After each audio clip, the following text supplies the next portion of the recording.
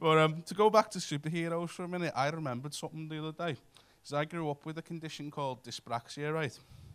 And um, if you don't know what it is, it's basically you're clumsy, find it hard to remember things, and you're easily distracted.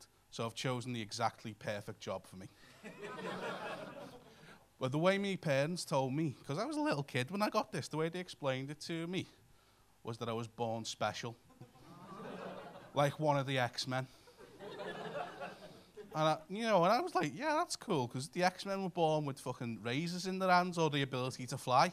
What's my special power, mum? Well, you'll never be able to tie your shoelaces. and you can walk into a room, forget why you're in there, and fall over on the way out.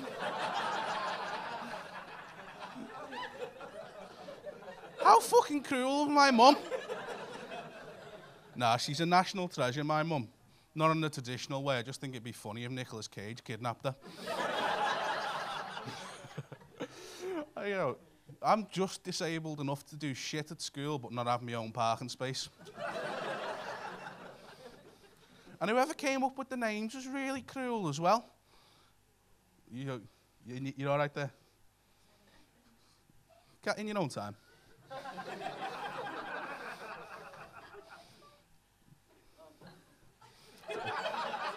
I've got to fill 15 minutes, so this is fine with me. I can't believe someone like that small has that much difficulty getting out of a small space. I, I'd be there for a week. go on, go and do that beak. go and tell your mate how good the show is.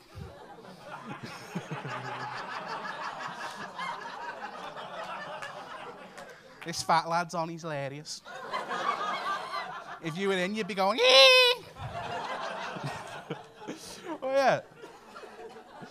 Um, I was talking about my disability where I forget everything, wasn't I? but uh, dyspraxia is almost always paired with dyscalculia, which is being bad at maths, and dyslexia, which is obviously your words. The seven G's, as I called it growing up. Come on, you got that. Think about it. That's clever. I, the people who, gave, who invented those names, they were nearly as evil as my mum. Because I can't do maths. I can't remember anything and I can't spell. You could sum that up in one word. You know, other illnesses, flu, three letters.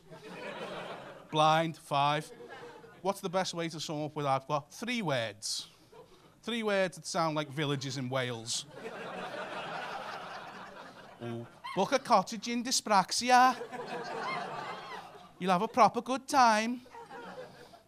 You know, not even three words that are easy to spell. Written down, they look like a cat was crawling across the keyboard and had a stroke halfway through. I've actually had someone come up to me after the gig and go, should you be doing jokes about being disabled? Well, I didn't realise it was a problem for you. well, what if other people who've got the same problem get offended? So if they do, they won't be for long, will they?